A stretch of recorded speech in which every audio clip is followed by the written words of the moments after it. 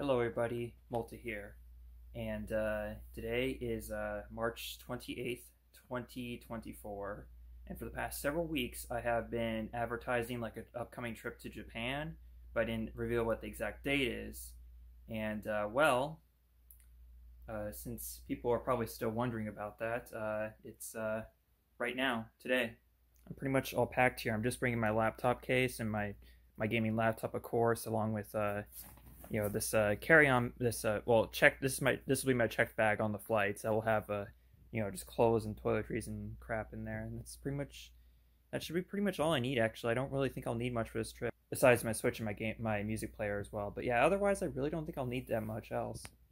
It is uh, currently 4:30 in the morning, and uh, my mileage is currently at 227,474. Just thought I'd randomly add that in for this vlog. Uh, but uh, anyways, folks, it is time to go. This is my apartment, and I am currently leaving now. So, I haven't really been specific about like the flight details and stuff, and like how I'm gonna get there, and some other things. So I thought I'd uh, talk about that on the way there. Of course, I'm not gonna be vlogging the entire uh, trip to get there. I mean, at least not to the airport. But uh, I just wanted to kind of go into couple things here, like share some more details now that it is the day. The plan is my my first flight takes off at 10 a.m. I'm traveling to the Chicago O'Hare Airport, basically. Um, it's a two and a half hour drive, so I'll get I should get there around 7 a.m. basically, which is perfect. You're supposed to show up two hours before your flight, your scheduled flight time. Um, but I'm giving myself an extra hour uh, because, for one thing, well, in case I need to stop for gas, because I got I still got three quarters of a tank, but like you know, you never know. I I'm sure that'll be enough gas to get me to, to the airport. But also, I'm a little concerned about like issues I might run into there. Most notably, parking. Uh, I'm gonna have to pay to park my car somewhere, and it's gonna be there for 10 days or 9 to 10 days or something like that. I can't remember if I'm arriving. I can't remember if I'm coming back Friday or Saturday. I'm gonna have to look, uh, take a look at the itinerary just to be sure. But I'm pretty sure I'm gonna be coming back on Saturday. So, I mean, I'll put 10 days just to be safe if I don't check by then, but I really should because I might be wasting a day if that's the case. Yeah, so I'm gonna, yeah, so there's that. Well, just the fact that Chicago Airport is so huge, it's so massive. It's one of the largest airports in the States. And, uh, so I'm really worried about making find my way around there. Basically, all I know is that I do know that my flight is at uh, Terminal 2, or where I'm taking off from and I'm going to be flying with uh, Air Canada today. Well, also, well, basically for this entire trip because I'm also flying with Air Canada on the way back. So taking off, so I need to go to Terminal Two at Chicago Airport, and uh, I apologize for all the and uhs. I keep on doing that all the time. I need to break that habit somehow. By the way, it is uh, about 30 degrees here. It's really cold. And uh, apparently, well, there I go again, another and uh, and uh, and uh, and and, and uh, um, it's supposed to be actually pretty warm in Tokyo, like in or in Japan in general. Like in uh, Fahrenheit, it's gonna be in the 70s, like mid 70s possibly, or at least 60s. It's gonna be pretty warm.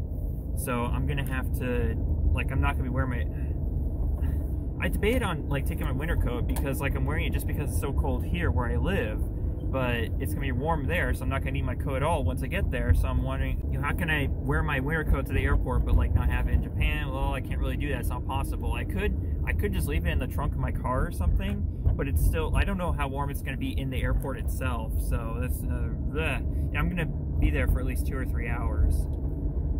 But uh, now getting onto the interstate, heading on I-41 south from Neenah, Wisconsin, all the way down to Chicago.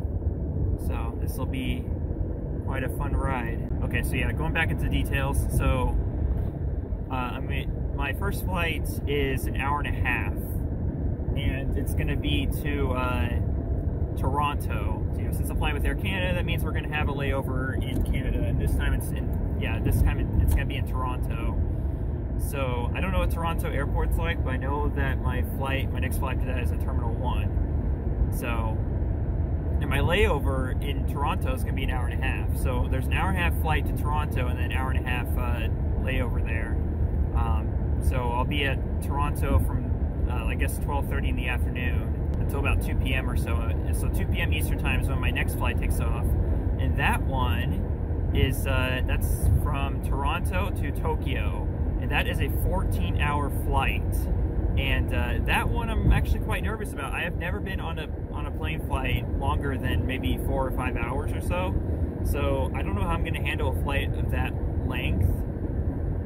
And I don't know, this is just so crazy. Like, this is my first time traveling internationally.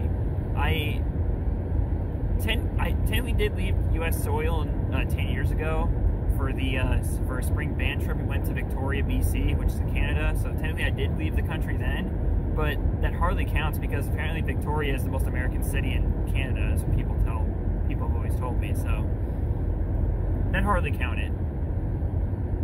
But this is real big. This is like the other side of the world, basically. This is like, for me personally, it's like traveling to another another world. Basically, it's gonna be a lot different than here. So yeah, um, uh, so I'm taking off from Chicago Thursday morning at 10 a.m. and speaking, you know, transferring to Japanese time, it's going to be, or Tokyo time, or whatever it's called, uh, it's going to be around five, uh, 4.45 p.m. or so, like 4 or 5, so around there. It's going to be 5 o'clock in the afternoon on Friday when I arrive.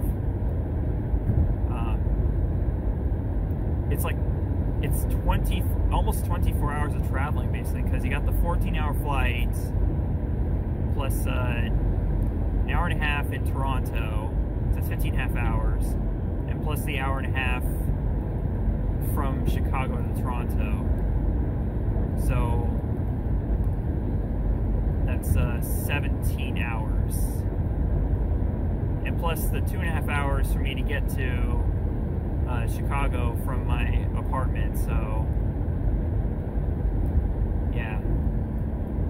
There's a lot to unpack here. So yeah, I'm to be in Japan from March 29th, 5 p.m.-ish to Friday. Huh. I'm pretty sure my flight takes off Friday night, like late in the afternoon. But I'm to arrive like Saturday morning in the U.S. because I'm going backwards in time. So, you know, because Japan is uh, is 14 hours ahead of me ahead of Central Time at least, uh, in terms of time zone differences. So I'm going to lose 14 hours in addition to flying for 14 hours. So uh, it's it's very complicated. It's so complicated, you know, time zone differences. Basically, I'm going to gain time coming back. But there's it's still a lot. It's still a lot of time traveling. But I'm going to gain time when I come back um, and that will be April 5th or 6th. April 6th, I'm pretty sure, was when I come when I arrived back on U.S. soil. Now, for the for, for the weekend, basically, so Friday night, Saturday night, Sunday night, I'm going to be in Tokyo. I reserved a hotel there, and it's near Ueno Station, basically, because I'm going to be using the, the Shinkansen to get around to, get around Japan. I'm only going to be visiting two cities, though, so I'm going to be in Tokyo for the first weekend, and then uh, Monday, April 1st, I'm going to travel out to Kyoto. And I'm going to be in Kyoto Monday through Friday, basically. And Friday, I'm going to head back up to the, all the way back up to the airport, basically, to come back here. And uh, I got the JP Rail Pass, so I can take the Shinkansen basically whenever I want during these during this entire trip. So that will be extremely helpful. It costs a lot of money, of course, but I guess maybe it's maybe somehow it costs less than it would have if I had just bought the tickets individually. But there's so much I'm, I'm looking forward to. But with that said, there's got there's some issues we have to go into. That is, you know, there's been a lot of uh, conveniently around the time of me visiting, there happens to be a lot of issues going around Japan with uh, tourists. Tourists being like just being all around terrible people, basically, like being disrespectful, um, unruly, you know, just completely, complete degenerates, basically. Well, I don't know about you know that word because we usually use that for eh, specific types of people. But I mean, some of these people really are degenerates. Let me tell you. But there's just so many people who are just so disrespectful to like this is literally the equivalent of going to your next door neighbor's house basically what would you do if you do that would you actually be you know, like running around, like vandalizing shit and harassing people, especially the, you know, especially the women, like them too. I don't know if I'm allowed to say that or not, so I might have to cut that out, but you know what I mean. So it's just, it's so, it's so, I don't know, it's so, it's so disheartening hearing about all this shit. And I know it's might be. Uh, I know at the very least I'll be a lot more respectful to these people than the tourists are, but at the same time I can't help but feel still kind of hypocritical because I'm traveling there myself as a tourist. So, but I can definitely tell you I'm going to be a lot more respectful of the rules there. And in light of that, as well as my current understanding of, you know, so my understanding of Japanese culture up to this point, combined with the recent events, has uh, caused me to make a decision. When I'm in Japan, I will be vlogging, but all the vlogs I'm going to be making in Japan are going to be silent vlogs. That means, you know, going by my personal definition of this of this is that I'm going to be not speaking directly to the camera ever during the vlogs. You might still hear my voice, but that will be like if I'm talking to a friend, like I'm recording something uh, that something really cool I see, and I have and I have a friend with me, which I do, because uh, I'll go into that as well, because uh, I do have friends who are gonna be seeing there. Uh, but yeah, um, all my vlogs are gonna be silent. I don't want to. I just I just really don't feel comfortable going there and being like all these other vloggers, YouTubers, being like, "Hey, look at this! Oh my God, it's so cool! It's all anime." Uh, I just have no interest in contributing to that bullshit. So yeah, in the spirit of Japanese culture itself and the recent events, I'm going to uh, just do silent vlogs and be more respectful and courteous to those around me. Um, am I still going to capture capture stuff? Yes, I am, but I'm going to be silent and as as respectful about it as I can be. You know. Uh, of course, with me, I have a tendency to take video a lot more than pictures. But, you know, in, in addition to being silent vlogs, I'm also going to do my very best I possibly can to not record people without their consent. Um, in a big city like Tokyo, and, and Kyoto is also kind of fairly big itself, um, it's very difficult to do that without recording people. And not only that, but also they're kind of overrun with tourists these days because it just so happens that this week that I'm traveling there is cherry blossom season. So all the cherry trees are blossoming and they just look as gorgeous as ever. And of course, that means it's going to be like way too many tourists there, like so many people there, that it's going to be impossible to get a good view of any of the trees there, probably. So I, I don't even know if I'm going to bother trying to do that. Uh, close to where I'll be staying is uh, is uh, one of the public parks in Tokyo called uh, Ueno Park, and there's I guarantee I think there's I'm pretty sure there's a lot of cherry trees there you can look at. And I don't know how big this park is, but I can guarantee like it's gonna, it's probably gonna be overrun by tourists, especially on the weekend too. Like, and not only that, but I didn't even realize this was Easter weekend when I put in for my time off from work. I did this like several weeks ago, and I had no idea that it was Easter week. Can you believe that? That's how out of touch with holidays I am these days. Like because of working retail for the past eight years, or eight and a half years actually, I am so out of touch with holidays except for the big ones like Christmas. Like I know, like I know when those are, but like I still don't care about them because I don't celebrate them because I live by myself. Yeah. But yeah, while I'm there, I do have uh, three friends specifically that I do plan on visiting. Uh, and these are friends that I met through VRChat over the past couple years. So I am traveling to Japan as a tourist per se, but if I'm being honest here, I don't think I would have visited there uh, Japan if I didn't have friends to see there because uh, although for the most part I am actually kind of introverted, uh, I still want to make friends. You know, I want to have connection. I want to make connections with people because everyone kind of needs that at some point in their life. And for me, that's been a lot of people outside of my country. You know, like foreigners, basically. And specifically in China, like a lot of my friends are in China, basically. So that's why I wanted to visit China so badly back in October. Not only that, was in a relationship with someone there, but you know how that went. Yeah, I really, uh, I really wanted to visit China back in October, and it just didn't work out. But this time, now with Japan, it's finally working out. So I can actually, I can actually go there, and I'm heading there now. well, heading towards the Chicago airport, but I will be headed there later today. So yeah, I'm gonna be meeting one friend the day that I arrive in Tokyo. We're gonna be uh, meeting up for food, basically. That's the plan. Other than that, I don't know where we're gonna meet, and I guess we're gonna be making specific plans. Like the thing is, once I get to once I arrive in Japan, my first order of business is immediately is get to the hotel because I need to check into the hotel. That way, I have a place to stay and put all my stuff, and then I can start going out and exploring Tokyo. The thing is, with all this, with this being cherry blossom season and being so many tourists around, I don't think it's going to be uh, reasonable possible, or whatever, for me to visit like a lot of famous places. Honestly, like the Tokyo Sky uh, Sky Tree, the Tokyo Tower. Uh, you know, there's there's uh, that's just off the top of my head. Well, there's also Akihabara, and Akihabara is actually a place I do plan on going to. I don't know how busy it's gonna be. I hope it's not too bad, but I have a feeling it's gonna be really crowded. So I don't know how much fun I'll be able to get out of that visit, but it's gonna be this weekend, no matter what day it is. Uh, Saturday I'm going to be by myself. That's the one day I'm by myself, essentially, because I don't have any friends planned to visit. Maybe that might change by then, but for the most part, I'm pretty sure I'm going to be alone Saturday uh, exploring Tokyo.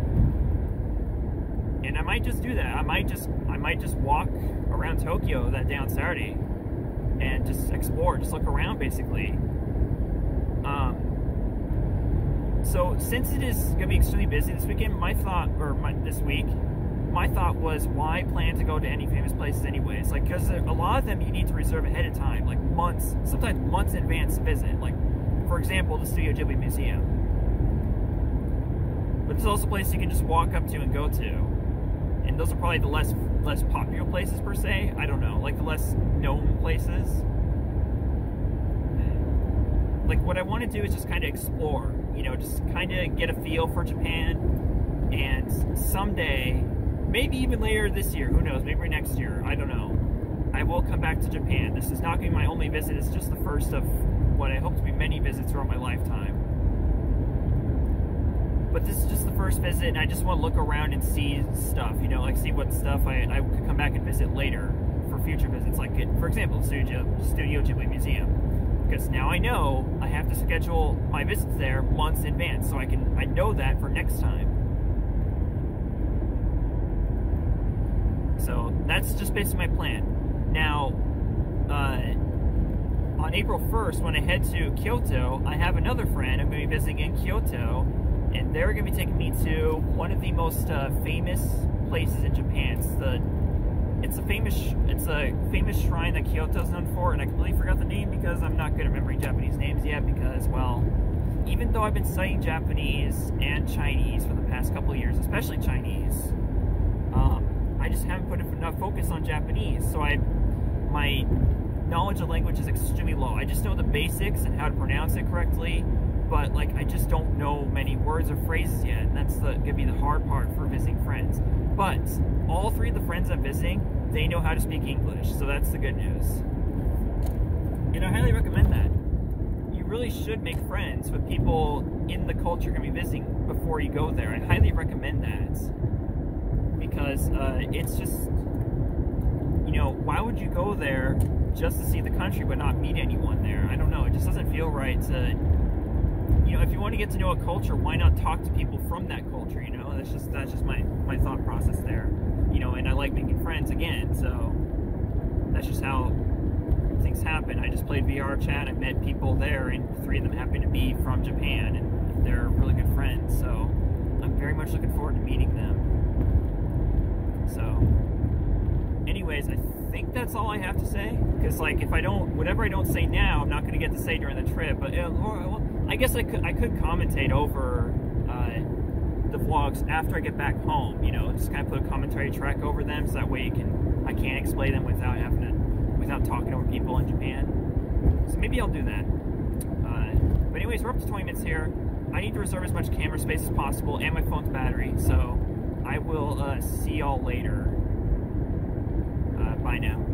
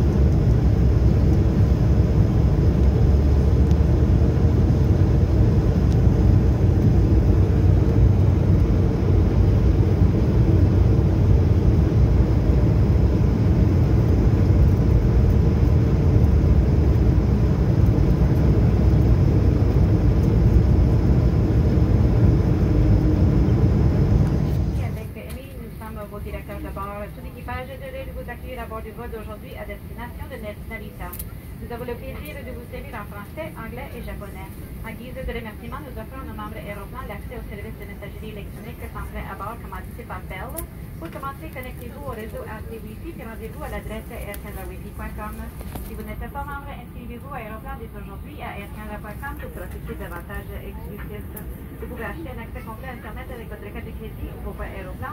En revanche, aucun achat de Wi-Fi n'est requis pour suivre l'état de votre vol sur aircanada.com ou sur notre application mobile. Veuillez noter que les applications vocales ne sont pas permises. Veuillez redresser le dos de votre siège, rangez votre tablette et attachez votre ceinture. Les couloirs et les sorties de secours doivent être dégagés de tout bagage. Les appareils électroniques de grand format comme les ordinateurs portatifs doivent être rangés de façon sécuritaire. la pareja, no importa, siempre, pero,